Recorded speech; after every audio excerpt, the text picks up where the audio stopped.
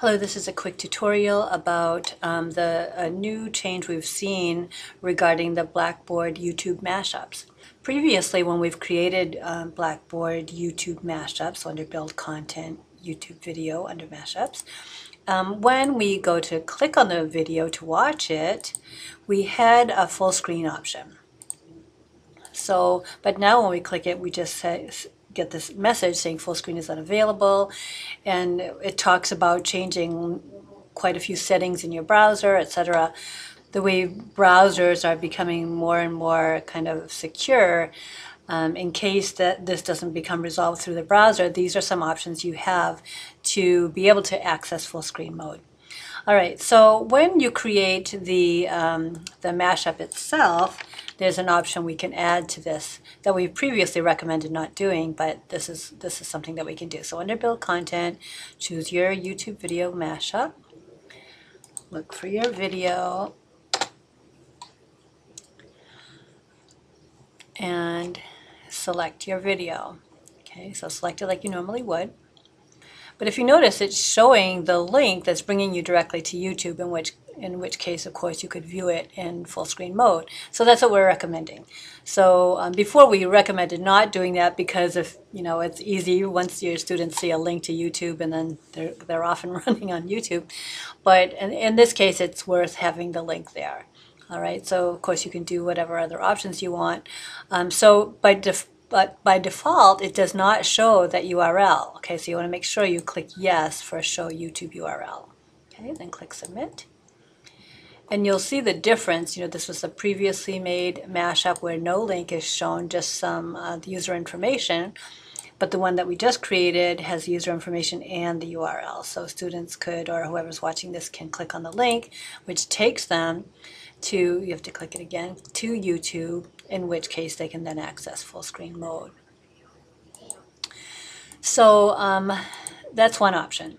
Another option is you could just create a web link to that video, um, in the, which case from YouTube, again, under the share options, in case you're not, you haven't done this, you click share and then here's the, the direct URL for this video. Okay, so you're just going to copy that, come back to Blackboard, under Build Content, choose Web Link. Okay, you paste the URL here, paste the name, and then whatever other information you want. Always the default is to open in a new window, which is what you want, and then click Submit. All right, and that just gives you um, that this link right here. The third option is you could actually embed the video from YouTube into Blackboard. Okay, so from the YouTube page again, under Share Options, you have Embed options. All right, and if you're not aware of this, by default it, it will show a player that's this size, 560 by 315. But if you wanted it to be a larger size, like if you notice this is a bit larger, you can just choose a different size from this list okay? Otherwise, the default, I think, is at 563.15. So anyway, under embed, this is the code that you copy. Go back to Blackboard, and this time you're just going to build content and choose item as your option. If just one row of tools is showing, and I think for many instructors that's the default view, just click the last icon, the chevron on the right, and that will give you the rest of the tools because we need this HTML uh, code view link. Okay, that opens up a new window. You're just going to paste that embed code, click update, and it just right now it just displays it um, as a yellow box, but don't worry, that will become clear in a moment. And then um, just click submit. Okay, so um, oops. So you can see this is that that size. The default size is a little bit smaller, as opposed when I created this one, I used a larger size. Um, but again, you can just click it, uh, click the video, and it will display right in Blackboard, or you can choose the full screen mode.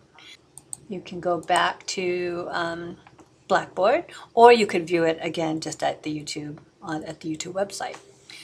All right, so there are three options, okay? Either add the, the video URL to the YouTube mashup, create a web link that takes you to YouTube to view the video, or embed the video, which allows you full screen as well as, as moving to YouTube to watch the video. All right, I hope that's helpful. Thank you.